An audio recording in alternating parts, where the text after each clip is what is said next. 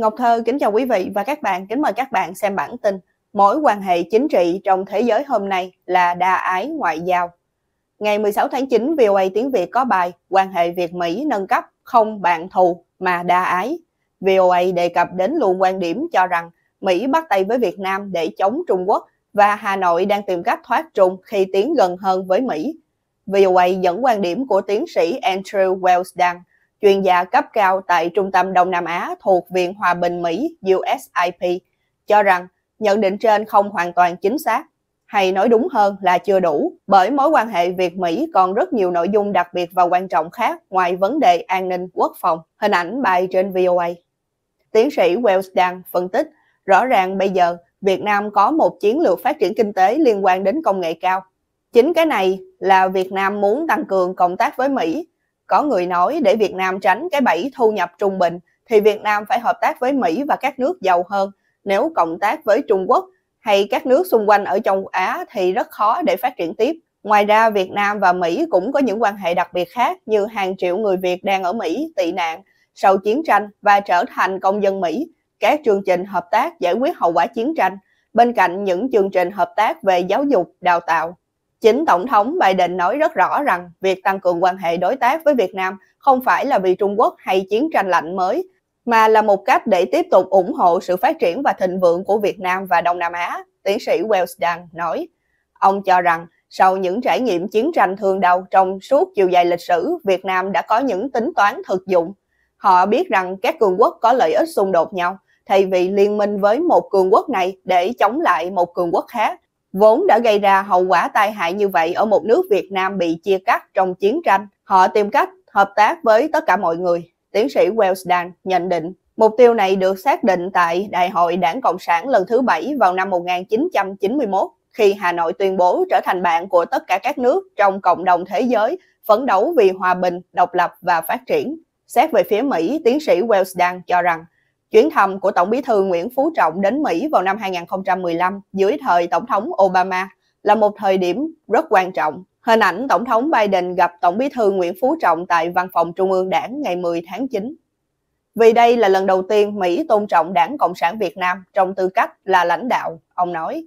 Trước đó, theo lời tiến sĩ Wells những chuyến thăm gặp thường là với người đứng đầu nhà nước chứ không phải là một người lãnh đạo Đảng Cộng sản. Tiến sĩ Wells tin rằng một khi mối quan hệ giữa hai bên chặt chẽ hơn, hai phía có nhu cầu trao đổi với nhau nhiều hơn để giải quyết những khúc mắc và khác biệt chẳng hạn như vấn đề nhân quyền. Tiến sĩ Wells đang cho biết, hai điều đó có thể quan sát thấy và ngầm hiểu là những diễn biến chính trị tại Việt Nam thời gian qua. Một là chuyến đi Bắc Kinh của Nguyễn Phú Trọng. Trong chuyến đi này chắc chắn phía Việt Nam giải thích với Trung Quốc về chính sách đối ngoại độc lập của họ để Trung Quốc chấp nhận việc Việt Nam nâng cấp quan hệ với Mỹ. Thứ hai là việc thay ngựa giữa dòng, một người mới chưa có nhiều kinh nghiệm về Mỹ và phương Tây bằng các lãnh đạo trước. Nhưng chính vì thế có thể họ muốn cho thấy là bây giờ ai lãnh đạo Việt Nam thì sẽ tiếp tục chính sách đối ngoại của Việt Nam từ trước. Ông Wells đang nói mối quan hệ Mỹ-Việt hiện nay cho thấy các mối quan hệ chính trị trong thế giới hôm nay không đơn thuần là bạn thù nữa, mà nổi lên là hình thái đa ái trong ngoại giao, làm bạn với tất cả.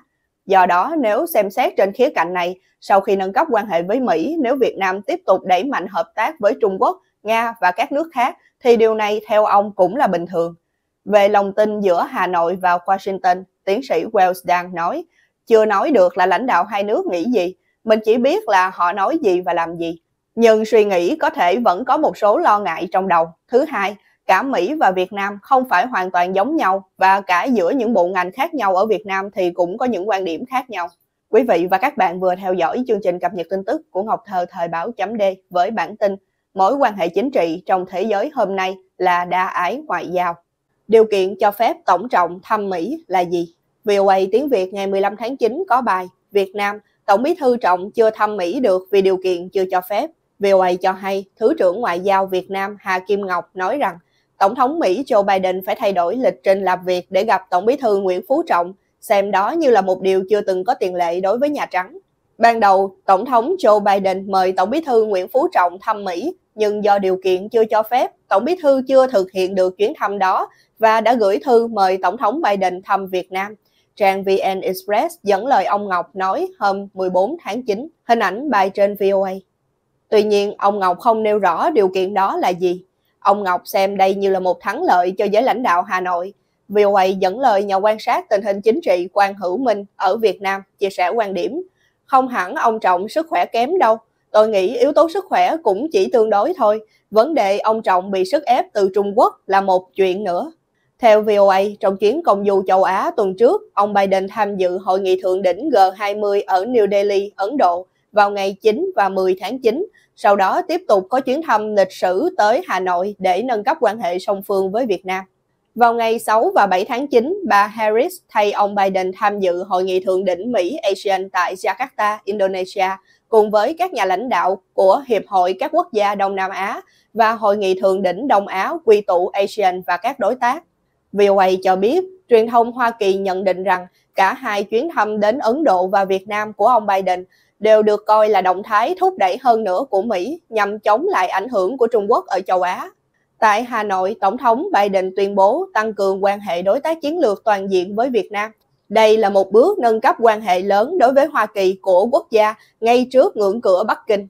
Phát biểu tại Hà Nội, Tổng thống Biden nói Mỹ không muốn kiềm chế Trung Quốc và rằng chuyến thăm này không nhằm mục đích khơi mào một cuộc chiến tranh lạnh ở Trung Quốc mà đây là một phần trong nỗ lực rộng lớn hơn nhằm mang lại sự ổn định toàn cầu.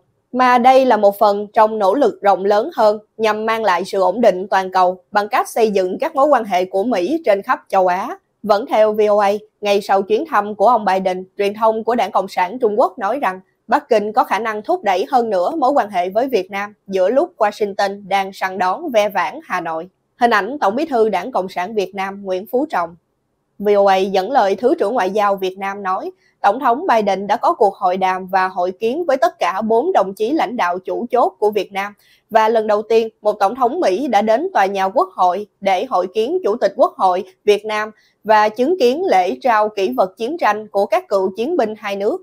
Nhưng VOA cho hay, chính cuộc gặp tại tòa nhà Quốc hội ở quảng trường Ba Đình đã gây bão mạng xã hội ở Mỹ khi ông Biden đăng nhầm hình các vị chủ tịch của Việt Nam. Theo đó, trang New York Post hôm 12 tháng 9 cho biết ông Biden đã xóa toàn bộ nội dung dòng tweet trên trang mạng X, trước đây là Twitter, liên quan đến cuộc gặp giữa ông chủ Nhà Trắng với Chủ tịch nước Võ Văn Thưởng, nhưng lại đăng hình chụp với Chủ tịch Quốc hội Vương Đình Huệ. VOA tiếp tục cho biết trên trang X, một phóng viên của trang Town Hall chia sẻ nội dung được cho là đã bị Nhà Trắng xóa, trong đó ông Biden bắt tay ông Huệ cùng với dòng tin Chủ tịch Võ Văn Thưởng cảm ơn ngài vì cuộc gặp hiệu quả như vậy. Sự hợp tác này nhằm phát huy tiềm năng của người dân chúng ta và cùng với đó là một loạt các khả năng đáng kinh ngạc. VOA bình luận có lẽ vì trong khoảng thời gian ngắn mà ông Biden lại gặp riêng cả bộ tứ lãnh đạo của Việt Nam khiến ông Biden 80 tuổi và các thành viên Nhà Trắng không khỏi sai sót. Nhà Trắng không đưa ra bình luận về việc xóa dòng tweet này, VOA cho biết thêm. Quý vị và các bạn vừa theo dõi chương trình cập nhật tin tức của Ngọc Thơ thời báo chấm D với bản tin Điều kiện cho phép tổng trọng thăm Mỹ là gì? Quý vị và các bạn hãy chia sẻ video này để nhiều người cùng biết cũng như bấm nút đăng ký kênh youtube và facebook của thời báo chấm D để được cập nhật những bản tin mới nhất, nhanh nhất và trung thực nhất. Ngọc Thơ thời báo chấm D